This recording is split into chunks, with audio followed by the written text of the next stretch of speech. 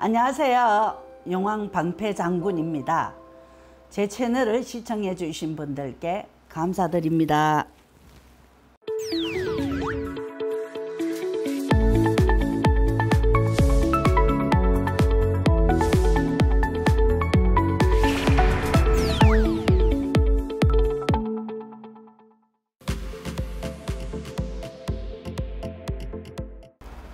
선생님한테 특별한 게 있- 있어요. 두 명이. 음, 그죠? 네. 제 질문을 하기 전에 이미 눈치를 채셨을 것 같은데 네, 보통 전 보러 가면은 생년월일 넣잖아요. 네. 생년월일을 안 넣고 어떻게 이 점이 나와요? 어, 제가 처음에 신을 받았을 때요.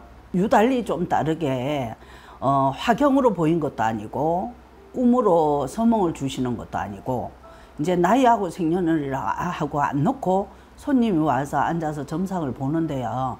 그냥 말이 술술술술 나와요. 그래서 처음에는 이제 얼굴 관상을 보고 하나 싶었어요. 네. 근데 관상을 보는 게 아니라 이제 제가 기도를 하면서 할아버지 다른 분들은 이제 과- 어, 화경도 보이고 또 꿈으로 서몽 주기도 하고 그러고 또 이 나이하고 생년월일하고 다 넣고 보는데 저는 왜 이 말이 바로 바로 나와서 어떤 데는 제가 실수할까봐 생각할 조차도 없이 말이 나올까요? 여쭤봤어요. 네. 그랬더니 할아버지 할- 마- 말씀하시는 게 손님들조차도 다들 신의 가물이 많다 보니까 뱀띠, 범띠, 말띠 센 걸 다 한단다. 그래서 이제 생각하지 말라고. 네. 네. 가이 생각 저 생각 하다 보면 실수가 나오게 돼 있고 나이하고 생년월일하고 넣으면 먼저 선입견을 가지고 이 사람은 신의 가물이 많구나라는 생각을 하기 때문에 네. 생년월일 넣지 말고 그냥 내가 말하는 대로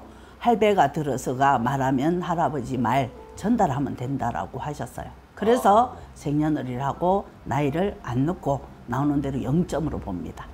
그러면 신점이랑 영점이랑 같은 맥락이에요? 같은 맥락이에요. 신점이나 0점이 똑같은 맥락인 것은 신으로 이렇게 우리 같은 제자야로 무속인으로 감에서 보는 거와 또 철학적으로 풀어가는 부분도 있잖아요. 그래서 신점이나 0점이나 같은 맥락입니다. 그러면 여기서 팩트가 네, 손님이 예약하고 오시잖아요. 네네, 앉잖아요. 네네, 그럼 생년월일 막 손님이 늘라 하면은 네네. 아예 그냥 안 받으시는 거예요. 처음부터 양해를 구해요. 왜 그러냐면 많이 보러 다니시는 분들은 당연히 나이하고 생년이라고 넣고 본다고 그쵸. 불러주셔요. 근데 저는 처음부터 이제 손님한테 저는 나이하고 생년이라고 안 넣고 나오는 대로 보고 난 다음에 본인 나이를 물어보면서 다시 거기에서 또 이제 부족한 부분을 말씀드리겠습니다라고 하거든요. 그러면 손님들이 아 진짜요? 신기하네요. 그러면 한번 볼까요?라고 해요.